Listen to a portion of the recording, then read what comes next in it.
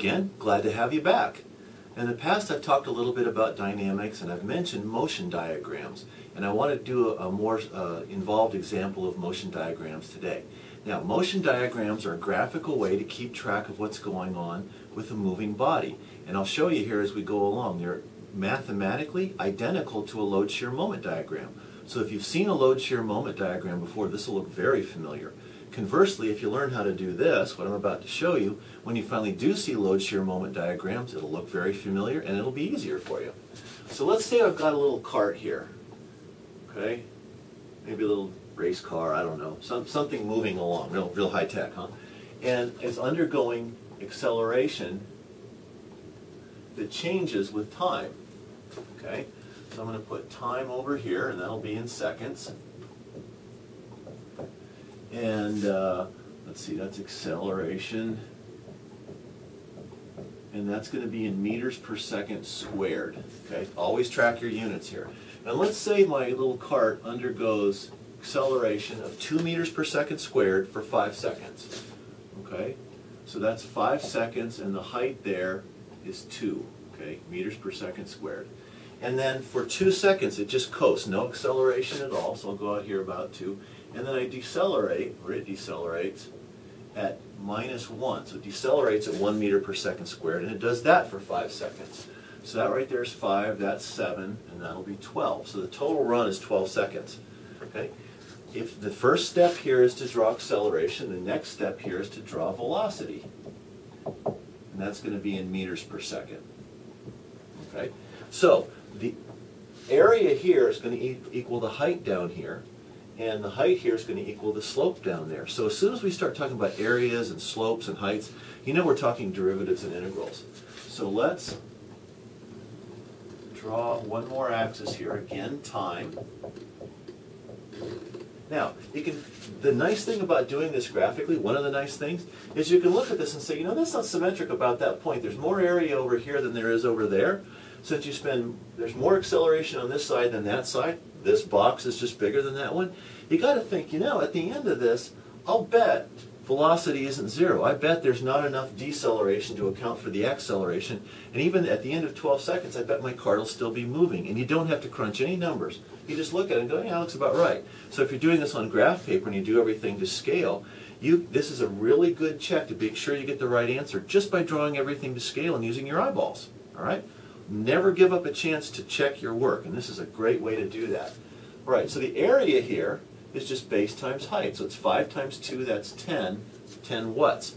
Well, 10 meters per second squared times seconds, meters per second squared times seconds is meters per second. Great, that's velocity.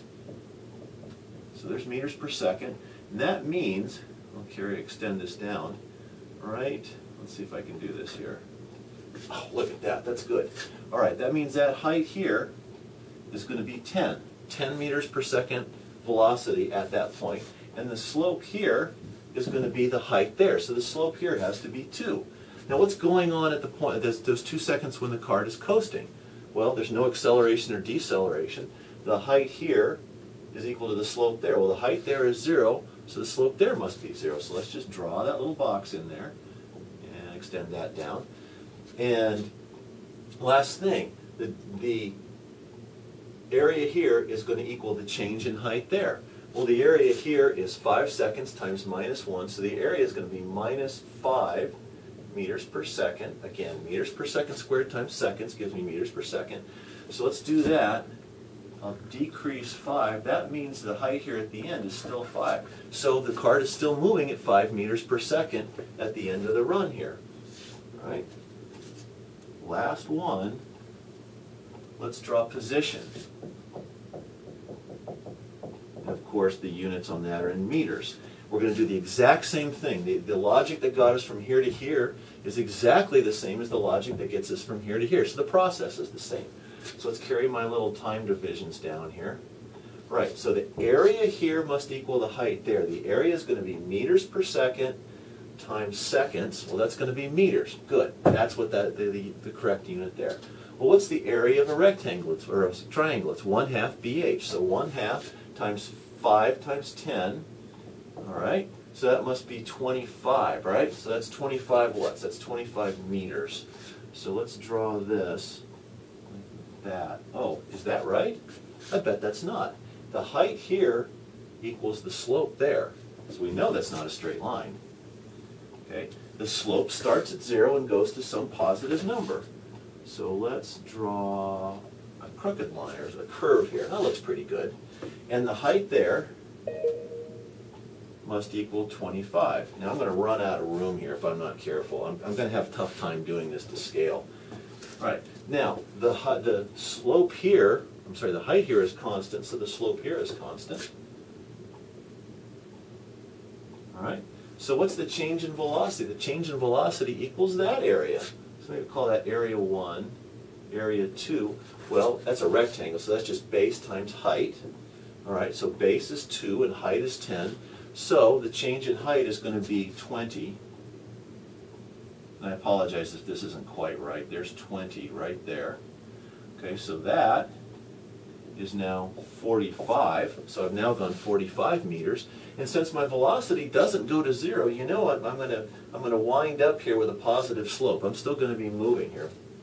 Well, let's just sketch this in. We know that my the height here equals the slope there. Well, the height here is a positive number that gets smaller but still positive. And since it's the same height here as it is right there on, at the, that point, that means the slope right there's got to be the same, and it'll go like that. That's not quite to scale here, but you get the idea. Positive slope, a less positive slope. So what's the area over here? Well, there's two, there's, I'm going to divide it in two here. The area down there is base, which is 5 seconds times 5 meters per second. So the area down here, maybe A3, is 25. The area of that triangle is 1 half BH. Base is 5. The height is now what? 5.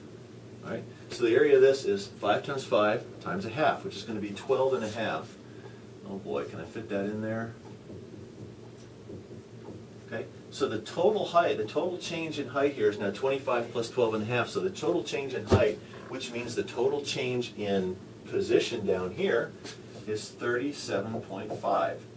Okay. Now to find out, that's, that's 20, 37.5 from there to there. So to find out the total change in position, all I've got to do is add up that height, that height, and that height. Well, 45 plus 37.5 ought to be 82.5 meters. So from this, I know that my final velocity is 5 meters per second. It's still moving at the end of the run. And my final position is 85 meters per second. Again, this is called a motion diagram. And mathematically, it's identical to a load shear moment diagram. If I were drawing load shear moment, this would be load, that would be shear, that would be moment. Hope this helps, and I'll talk to you next time.